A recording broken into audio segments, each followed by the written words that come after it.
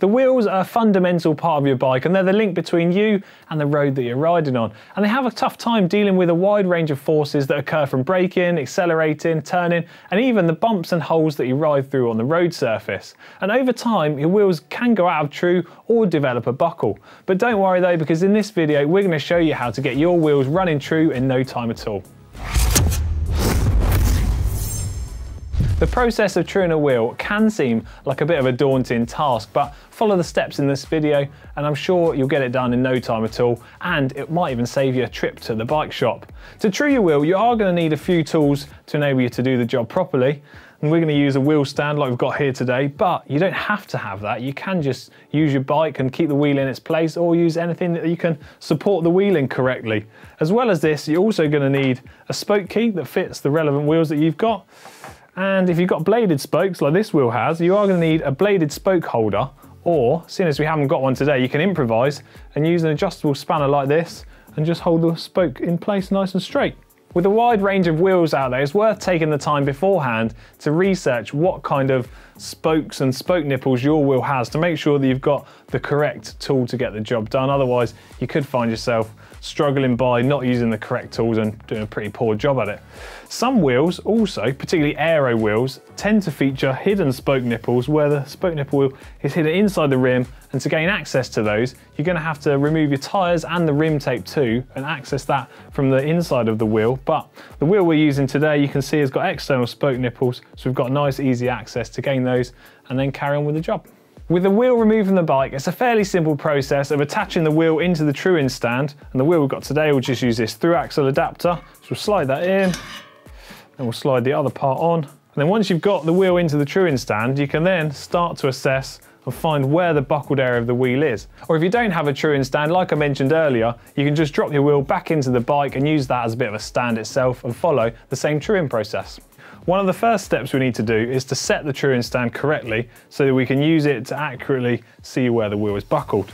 So one of the first things we need to do is move the part here so it sits up a little bit closer to where the edge of the wheel rim is. And the next step is to adjust this to make these calipers come in nice and close to the rim surface so that when we spin the wheel, we can use these as our reference points to be able to see where the wheel is buckled. And by spinning it round, moving these in closer until, like that, they make contact. You can see here, it's where the wheel starts to make contact with this. So we know that the buckled area is around here. So that's the area we need to start to work on next and assess what we need to do. Having identified the area of the wheel that has got the buckled piece, we can then look to check that the spokes in that area aren't damaged or particularly loose already. We can also check that the rim is not damaged as well because if there's any of these components that need replacing, we're going to have to go ahead and replace those before we can try and make the wheel true. Otherwise, we're going to be chasing it round and round and really going to struggle to make it perfect. Now that we've got this area identified on the wheel, is where we can start to take our spoke key and actually make some adjustments to the spoke tension to try and reduce this buckle and move the rim back across in line to where it needs to be to make the wheel perfectly true again. And what we're going to need to do, as I said, is starting at this area, identify the start point of where the buckle is, which is around this area here. So we're going to be looking at this spoke first, and then we need to assess which direction we need to move the wheel rim across to make it true. So when I'm looking at this here, I can see that the rim needs to move across to um, this side here, so the braking surface side, this is a disc brake wheel. Um, so what we're going to need to do is use this side of the spokes that attach to this side of the hub, and then we're going to have to add some tension to this spoke to enable it to pull the rim across in line to where we want it to be. And it's important to remember when we're adding spoke tension to one side of the wheel that we need to also remove a little bit of tension from the opposite side so that we don't add a whole load of tension into the wheel which could result in uneven spoke tension throughout the wheel and a, and a wheel that would well, buckle very easily and not be ideal for what you need. So it's also important to work in sort of even amounts on this wheel. So we're trying to use the spoke area here where our buckle is, one second.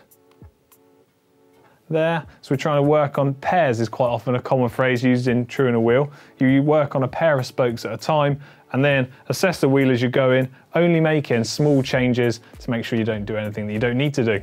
To add and remove tension to the spokes, you're going to need to turn the spoke nipple itself. And this works because it's got a threaded interface between the spoke and the spoke nipple itself. By turning the spoke nipple anti-clockwise, you can reduce the tension on the spoke. And by turning the spoke nipple clockwise, you can add tension to that spoke. And by adding tension, you're going to move the wheel rim across to the side where the spoke attaches to the hub. So now that you've got a basic understanding of the principles of the spokes and how adjusting them will true the wheel, we can go in with our spoke nipple key and start making some adjustments, making sure that we regularly check our progress to see how straight we're getting the wheel to make sure we don't do any unnecessary changes. So we can go in here, find our first buckled area, is there, use this to keep the spokes straight. We'll start here, hold that straight. Because this side needs to move across, I'm gonna add some tension to this side, turning this clockwise, let's say, and then opposite side, remove some tension.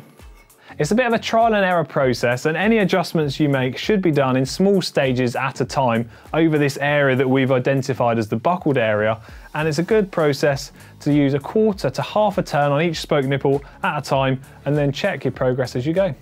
Having made the necessary adjustments to your wheel, it should just be a case of a final check over to make sure that you're happy with everything and the wheel is running nice and true. And then you can remove the wheel from the truing stand, refit your tyre that you removed earlier, and then reinstall the wheel onto the bike. And it's important to know that if you are struggling to get that wheel nice and true, it could be caused by a different reason that you're not too sure of. So it might be worth heading down to your local bike shop and getting them to give the wheel a once over just for peace of mind to make sure you're not riding any dangerous equipment. So there you have it, how to fix a buckled wheel at home, enabling you to spend more time riding your bike and having fun. I hope you enjoyed this video and if you have, please do give it a big thumbs up. And if you've got any questions, get them down in the comments section down below. Thanks very much. See you later.